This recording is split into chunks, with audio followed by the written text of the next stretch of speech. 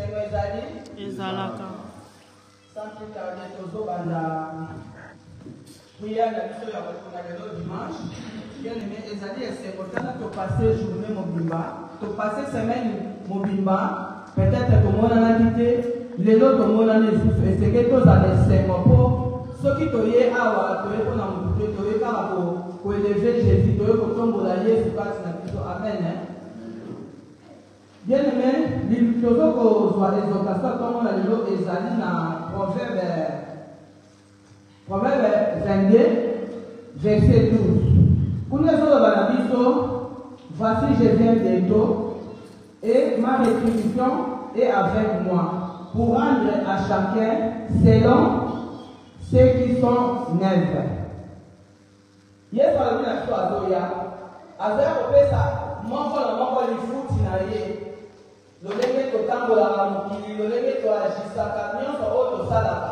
ekezala mokolo moko yesu akoya koample motu na motu oyo ezali salaire ya misala na ye lobi eh, oh, jésus tobanda sola paster abi evange alobaka oyo jésus via bientôt nalisi paster nabi a mpo na ngai namonaka yesu aya soki yesu aye soki moto akufi eza neti yesu aye kaka omona mpo wana nde stop ya makambo nyonso tobandai kosala malamu to tobandai kosala mabe soki kaka topesi mokili mokongo yesu aye kaka bomoi ya motu na moma wanaka moto akufaka swat ape na lieu de tourment ou bien lieu de repos bien aimé liloba ya lelo esengeli vrema elingisa biso susu efufle biso eloko mo soki tobandaki kozala kidiba soki tobandaki koyeba te ete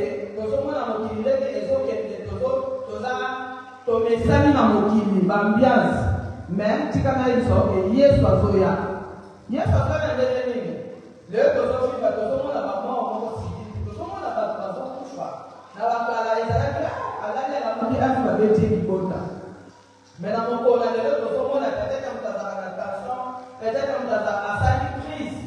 Dans la salle crise, à la salle, on va dire, on va voir la place, on va voir la yango wana mokolo lelo eseke koleba osoki toyebaki paster alobaki na biso susujelie asekaka bato oyo baza sesa na si nayoka yango apokalypse du evende na si nayoka yango bien aime liloba ya nzambe eserenzelaka kaladia ezali leki olobaka ya kala soki liloba eza ya kala awa toyoka kokala tosala nini mpona tozala pre liboso na nzambe liloba oyo epesa biso su makasi toyebaka koveye yesu akoya lokola moyibi akoya briskema tomoni awa alobi ke akoya kofuta motu na motu lifuti ya baevre na ye lifuti ya comportema na ye lifuti ya nyonso oyo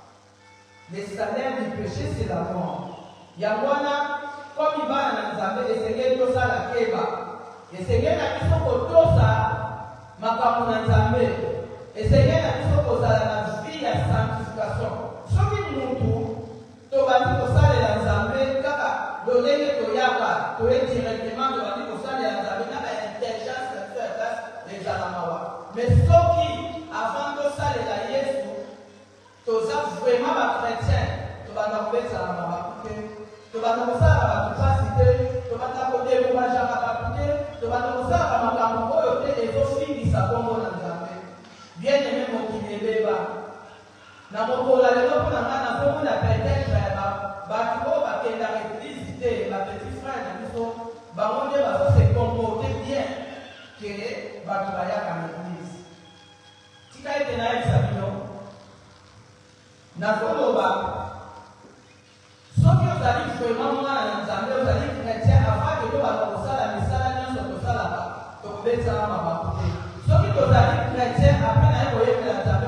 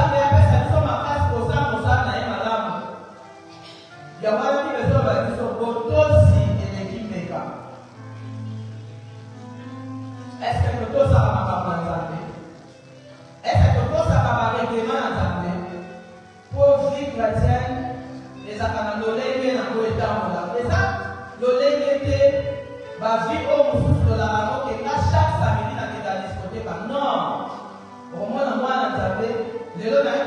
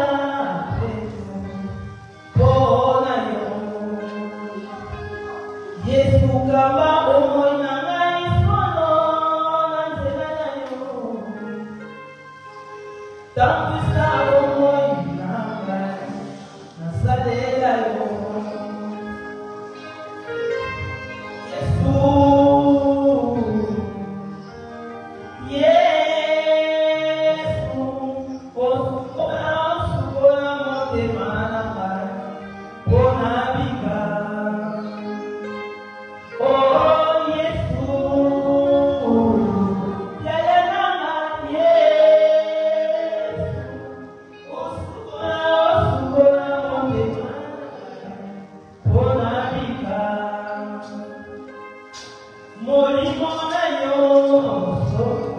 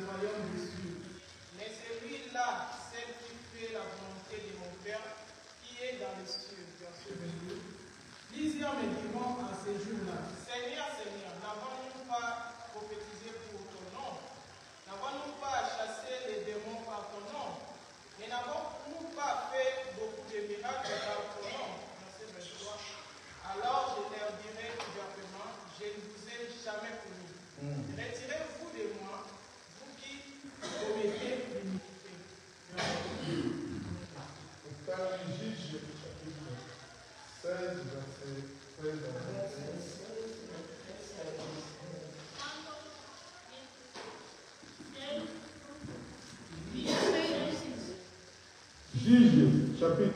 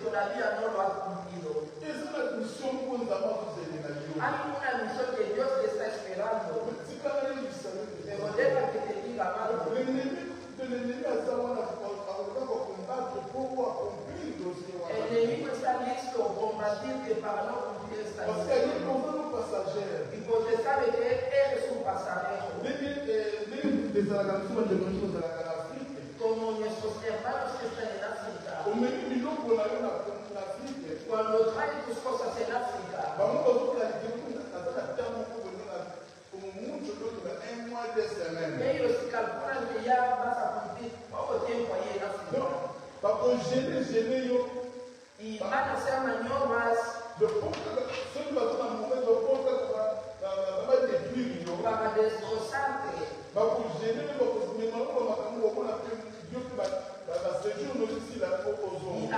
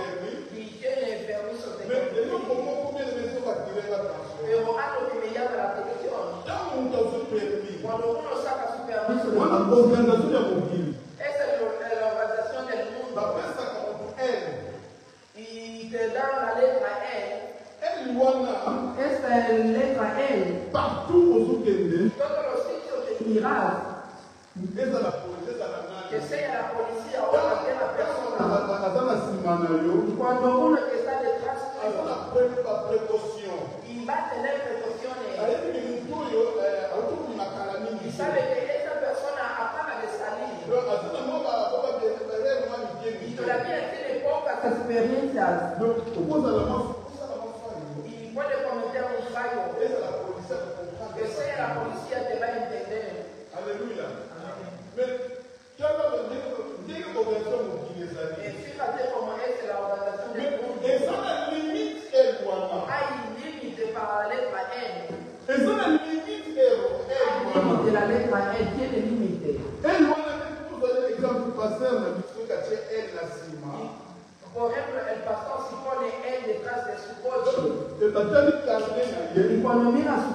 on the government Mais comment you.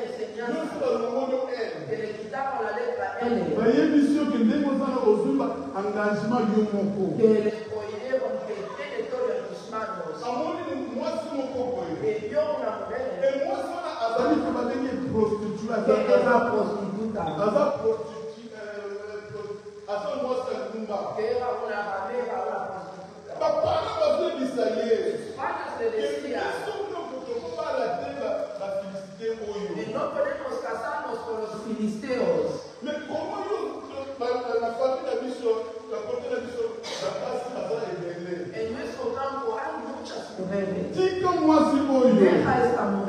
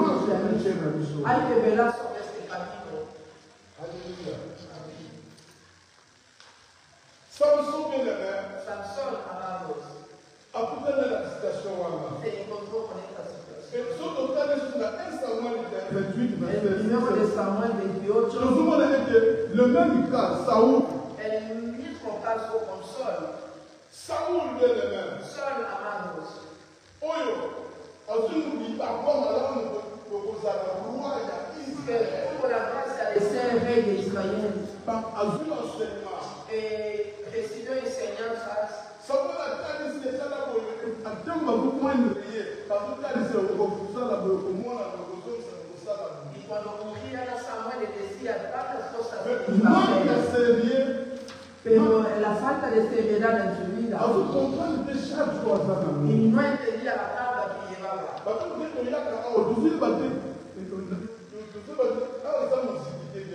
y como venimos aquí, no es como una vestura que venimos aquí. Es una vestura que venimos a hacer aquí. Hoy domingo. Jueves estamos aquí otra vez. Miércoles también estamos. soki bocasele te na kozaoza kaka mememe toza kaka na forme wana meyeba nzambe azokonte biso na mwana nanga oyo kola kola bisina kokola jael donc akoma deja na perdue aza na perdue azotambola oyo soki asali fo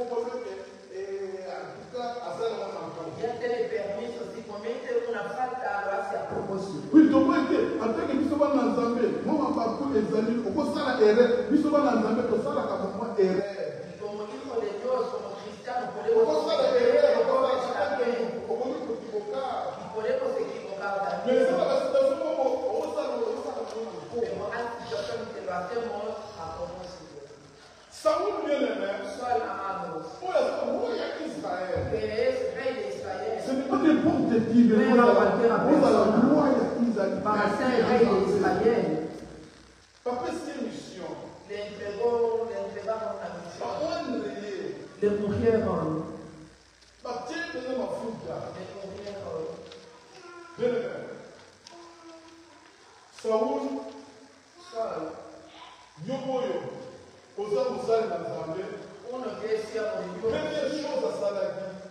La première fois, ça dit. Et donc, pour présenter. Il les présenta comme. Mais pourquoi qu'on nous gagne? Mais on espèce de Gustavo. Mais place où on découvrit. À nos destins. Et là, c'est comme on nous a tout normal é Et là, on nous a tout normal.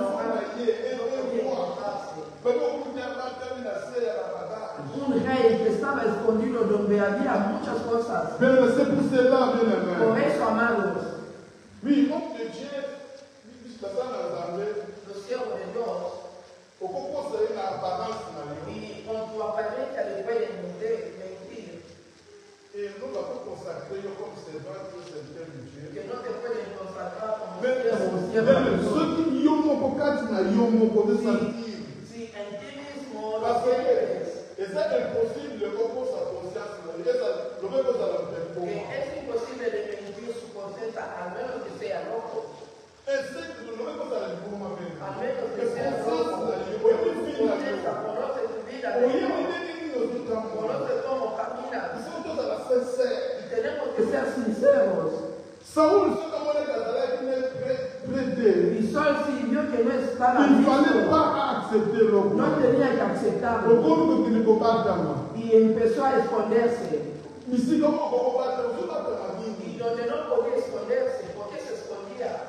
Et fin de compte, hein.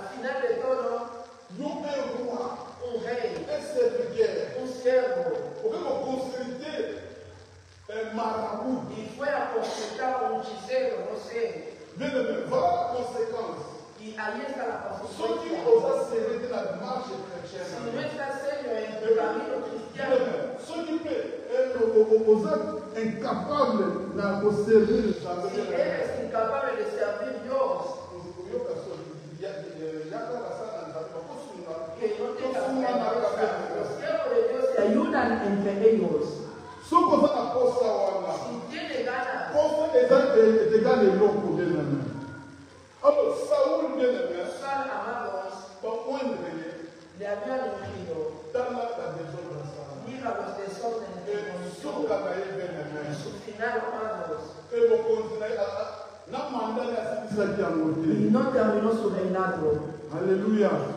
comme bavoyageur manda na yo ekosila ndenge nini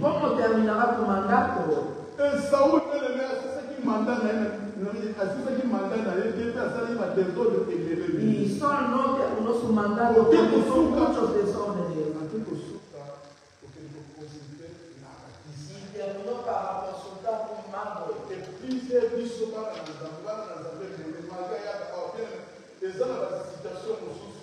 muchos hijos de Dios a pesar que venimos aquí, hay situaciones.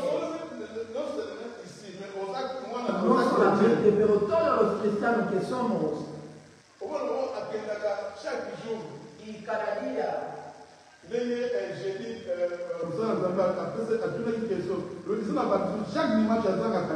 y como dijo el siervo de Dios el jueves, uno cada domingo no fue. está bien, está bien venir a la iglesia.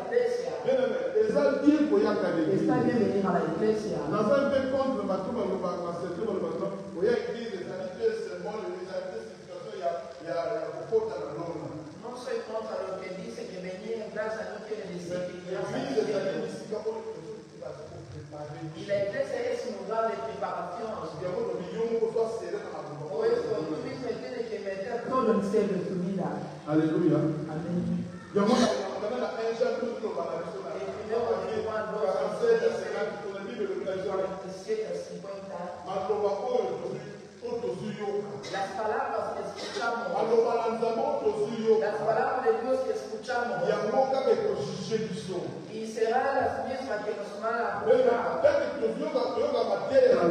Mientras escuchamos la palabra de Dios, desde que empezamos a escuchar la palabra de Dios, si no lo tomamos en serio, la Biblia nos dice la misma palabra nos va a condenar. No escuchaste que se hace así.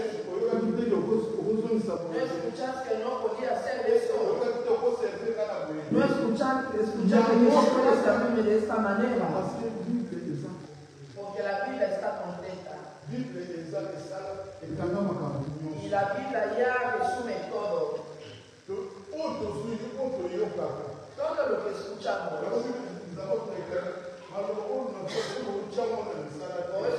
Dios dice, las palabras mías si no lo ponen en práctica. Y quiere decir, no me si no me aman. Aleluya. Y los dos personajes que estamos hablando, mira, ese con Dios, Samson.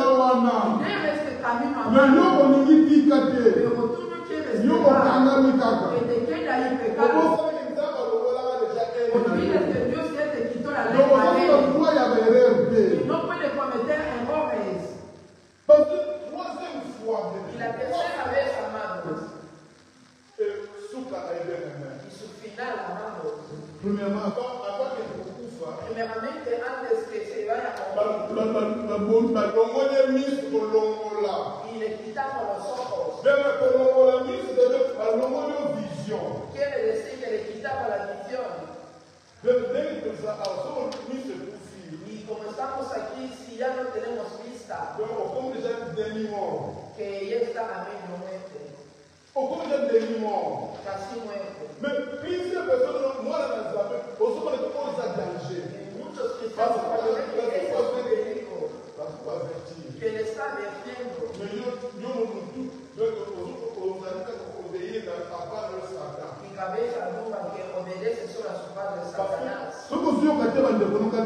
si no escucha a tus hermanos en Cristo, decir que escuchas a los Satanás. si no escuchas a los Satanás, decir que escuchas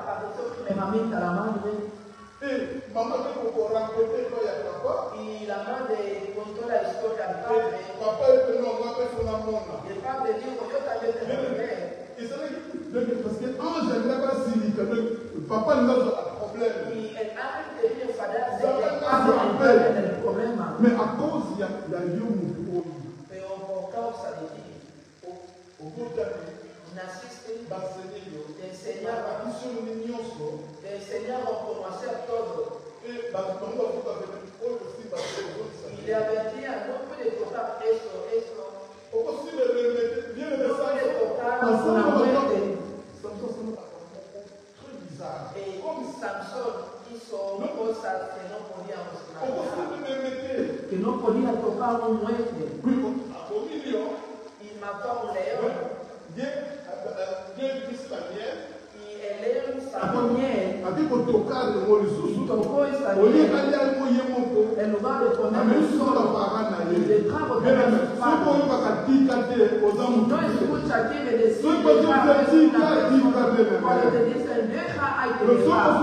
soki oyokaka lesaaaa lisika lingamema bafamia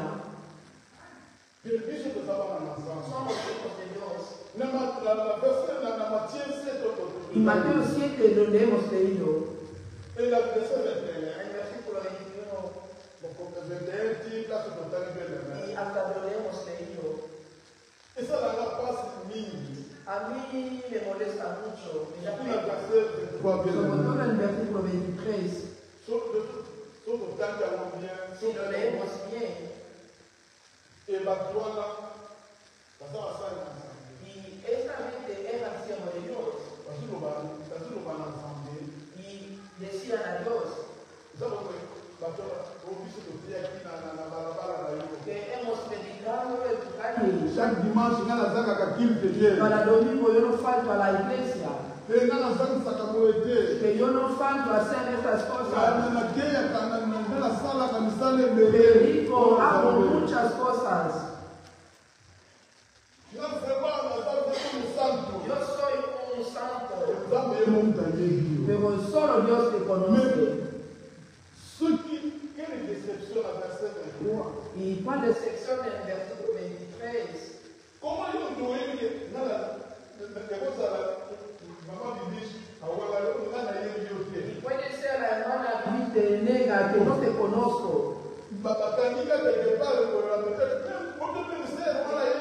eh, eh, arrestan oh, a alguna parte y digo, esta hermana me conoce, me sabe.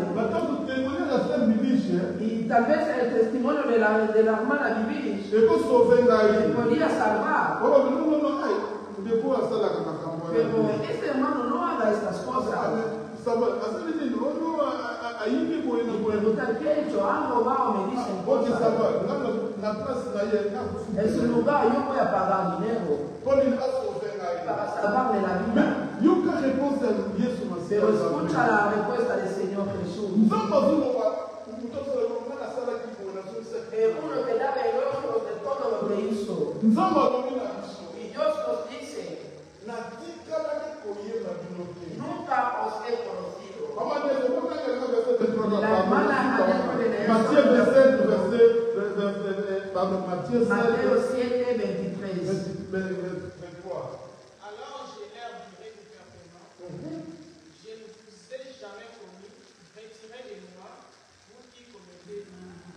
Alléluia. Quelle, quelle, quelle déception. déception.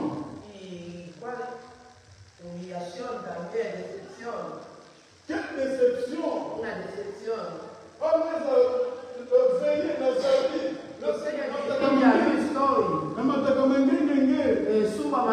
aimé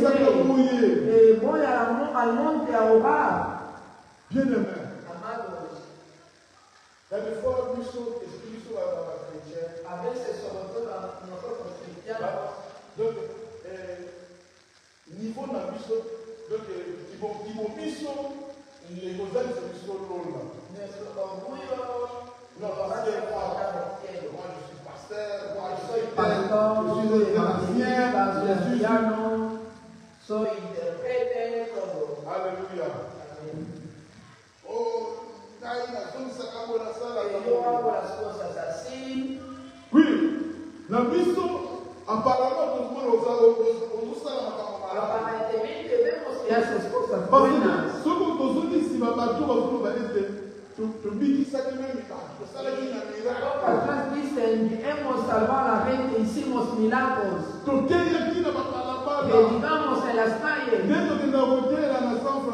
como vamos a predicar a San Francisco. Hicimos así, hemos vuelto así. Pero aquel día, Dios me está diciendo, Pablo, a pesar de todo, no te he conocido. Qué decepción, amado. Por causa de falta de fidelidad. No iba a ser tu vida cristiana.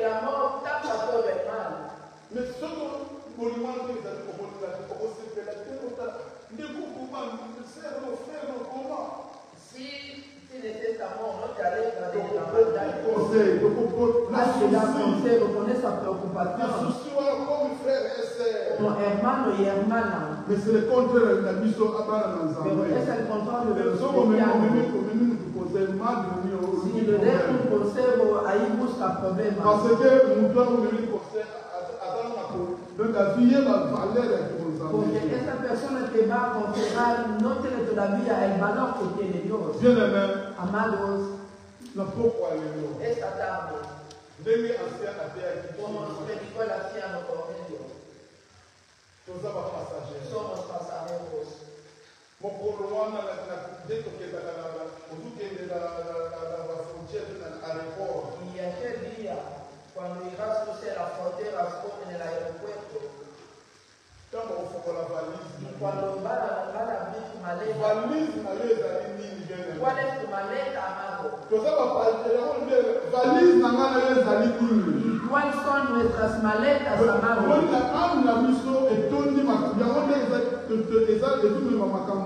Et nuestro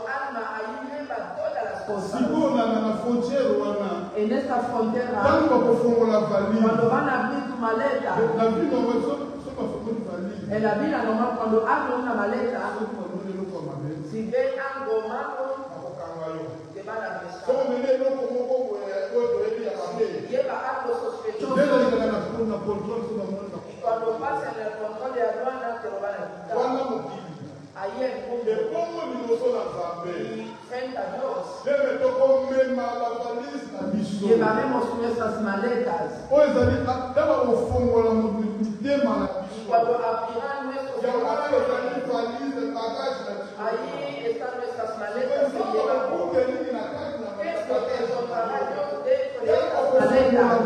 Quando Abiran, tá que é agora tá tá, não sei, habrá muitas coisas. Valise n'avait pas se préparer. Maleta haiko separado. Estou preparando a valise da missão. Hay que preparar nuestras maletas. Vem, vem, vem. Amados. Valise da missão que está bien preparada. Maleta no si está bien preparada. On a problema, não é para o cangaio.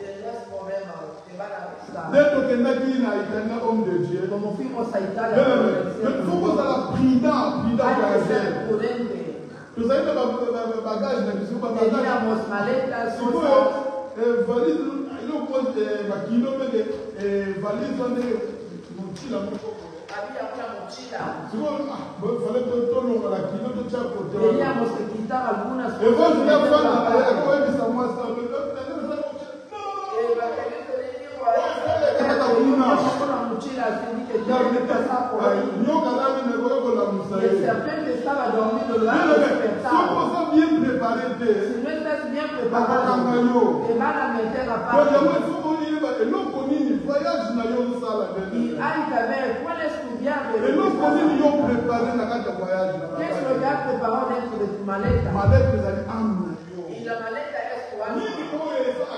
que que yesu lokhe yebasentuwana yilokho que yokholisana amina yesu lokhe pusisele koletwana alléluia alléluia tu préparer bien aimé ayé préparant bien amado tous à que tête de la commande madame lelo yobi ne tiens au mouvement beaucoup ah non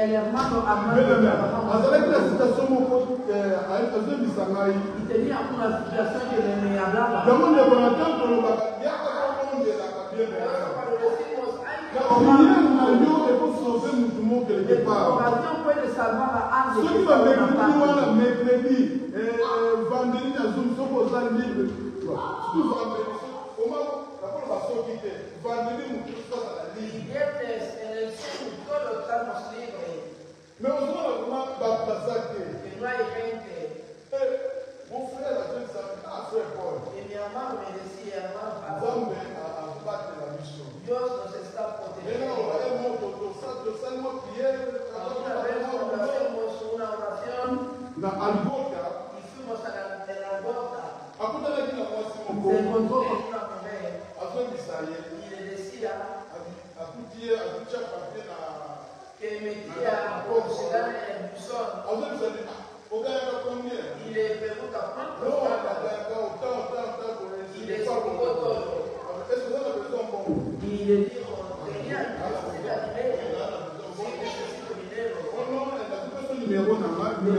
Il est téléphone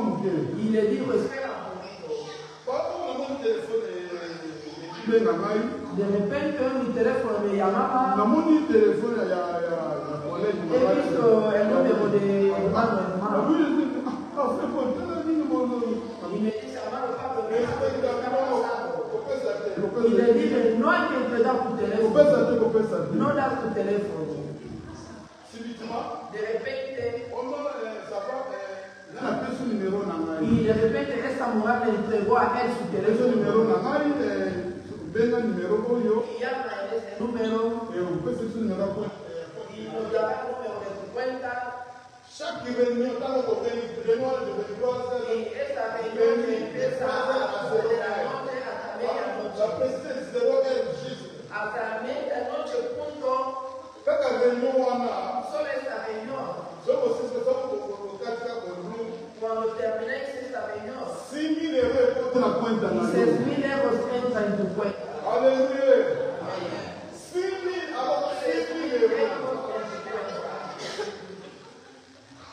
Chaque réunion aura 6 000 euros. La réunion tendra 000 euros. Alors, le frère a dit du ça va. Il a mal Parce que nous, on a fait un peu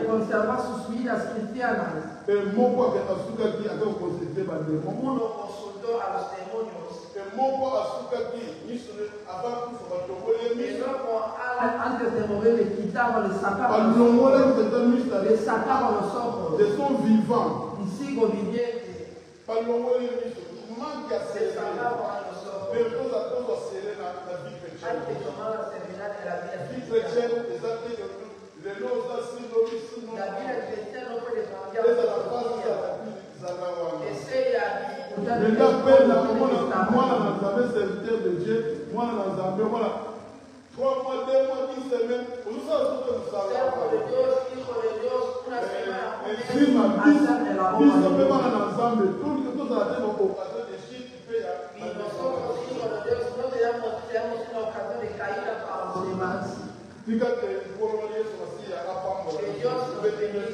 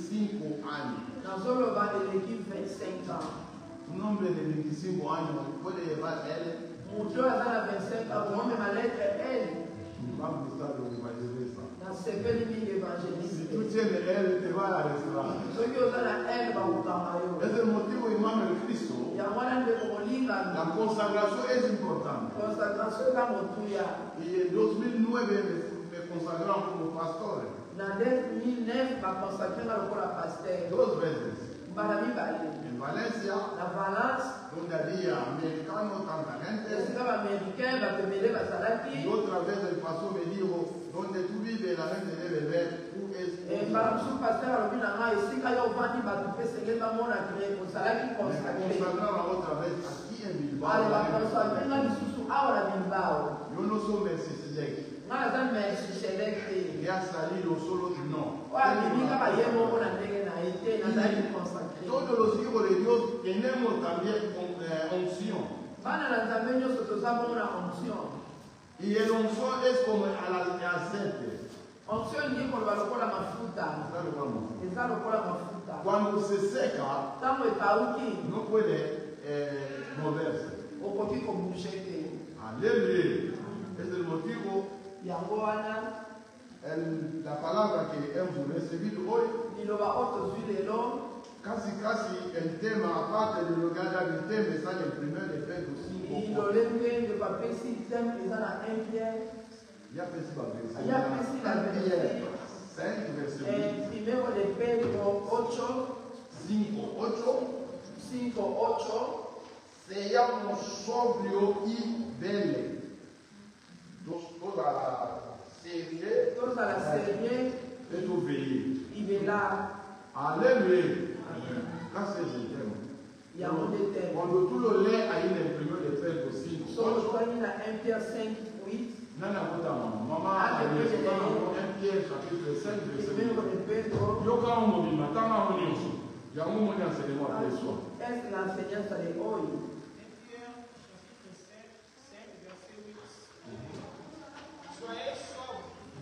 Veillez votre, veillez, votre adversaire le des rôde comme un lion rugissant, cherchant qui le dévore. Alléluia. Alléluia. le sont bloqué ici, prudence et modération. Zala prudence et en modération. I, velar est serf d'espiègle.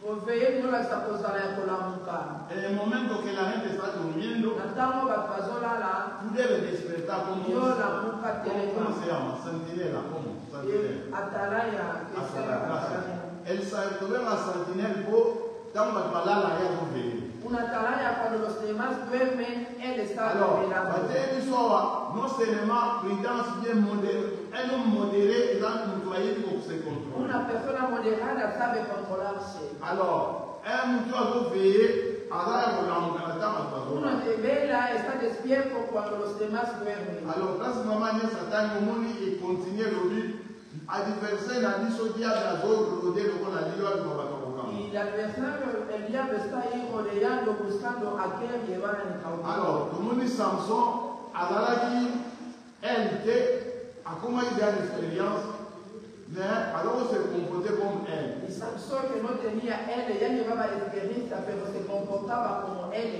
Tu não não não. Ah, é, e pergunta à persona. Olha oui. Pastor. Tu não é terra. Se você comportar bem.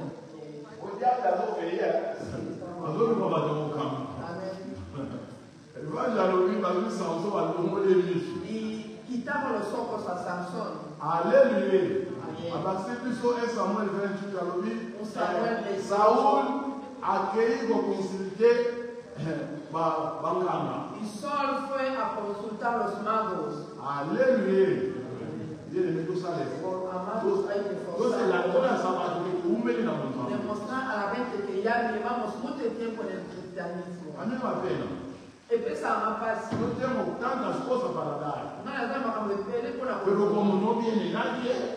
moto ayaka te elaza enseignance nade bien eteakanzamba esuki kaka na makambo moke moke ozala deuxième soka na ye osambela azaki deja enoma françaisbato bakimanga babengaka na mila baverse me nafangialors kokanisa te soki ozoteya soki ozoyemba oyembama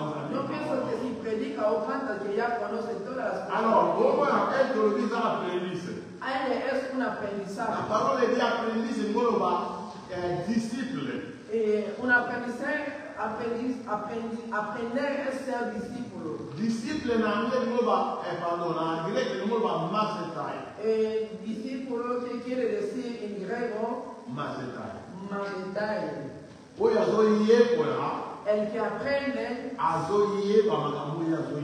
y tiene que estimular lo que está aprendiendo. Lucas 6.40 40. Y el alumno no es más que su maestro. Porque el alumno que aprenda asimula lo que está aprendiendo será como Adevese geliyor. Nostru mai este Iisus Jesucristo Si somos discípulos de Cristo, y permanecemos en Él, ¿eh? Sobras eh, Juan 6, eh, ahí, conoceremos la verdad. Y la verdad nos hará libres. Alguien ah, me está entendiendo.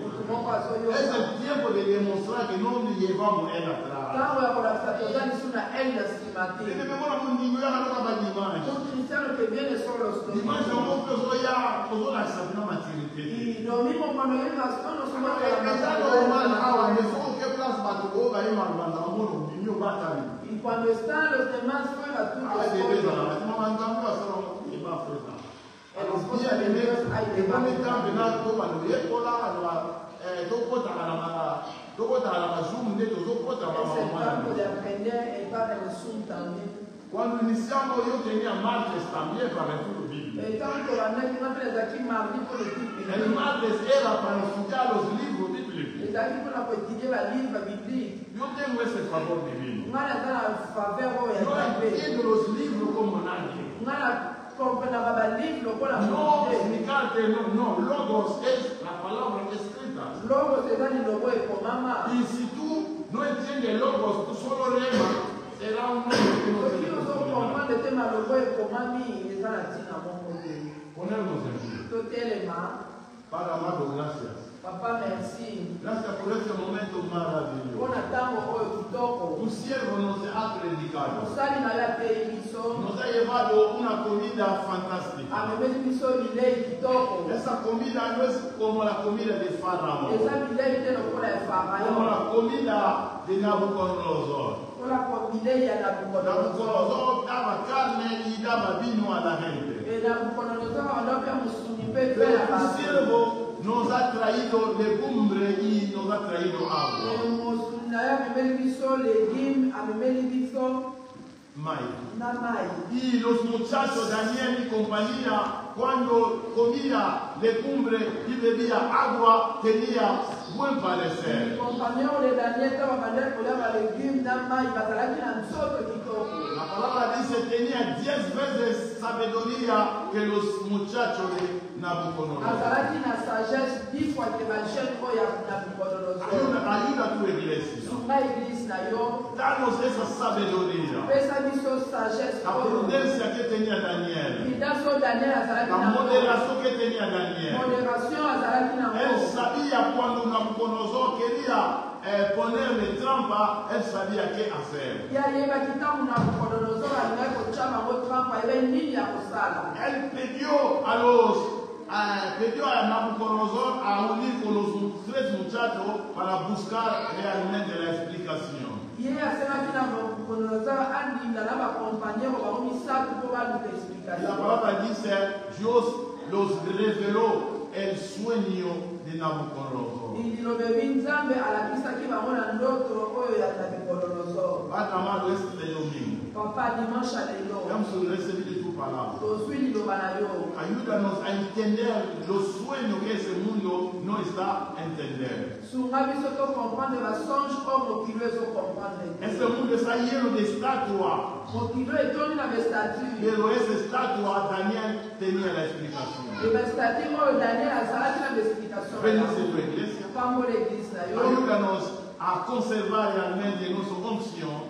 Surmarque Soto la cobrate la a disco. Tu palabra en el primer de Juan capítulo 12 versículo 20 y 27. La Jean 26, verset. 1 Jean chapitre 2, verset 29, verset 26. 1 Juan 2, 20 a 27.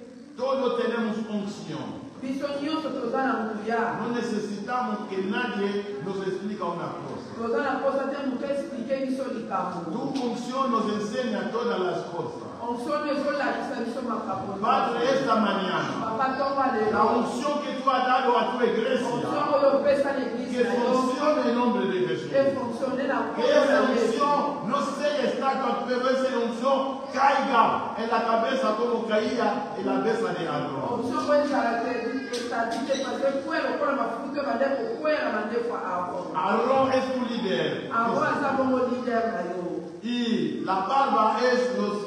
leader también. Manefu esa pe ba leader. Y el goal de, de, de, de, de vestimiento es la asamblea. E bon ya mantona esa bon asamblea. Y esa sete, esa unción sale de cabeza de la barba hasta la vestidura. Que la iglesia llena con ese unción, que ese unción funciona. Et l'église etonana onction mpe onction efonctionne mais obongo okwate esprit de distraction eza église na telemi esprit nyonso ya distraction na église oyo mobongo kontra l'esprit de lentitude neza église inatelemeli molimo nyonso tona be l'église oyo philipe estaba contigo jésus kristo philipe azalaki elongo na yo yesu pero ele duró tanto tiempo no te conocía ye azwaki ntango ebele na yo kasi ayeasiekekemo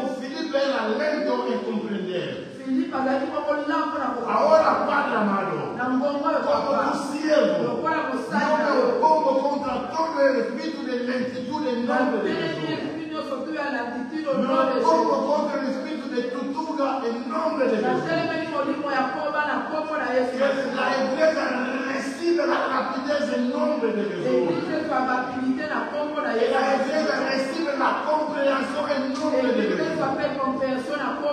Padre, bendice tu cielo que nous este gracias por su son ministère. de sus vidas. Oh, Padre, tú conoces los corazones. Es tú que nos da la fuerza. Padre, gracias. Papá, merci. ibenise shufamilia ibenise toloke elitokana ibenise toda la eglise C'est nombre de Jésus. Comona sur la personne. Todo digamos. Grâce à Seigneur Jésus. Merci Seigneur Jésus. Amen. Amen. Alléluia. Et aujourd'hui, on est parti par la.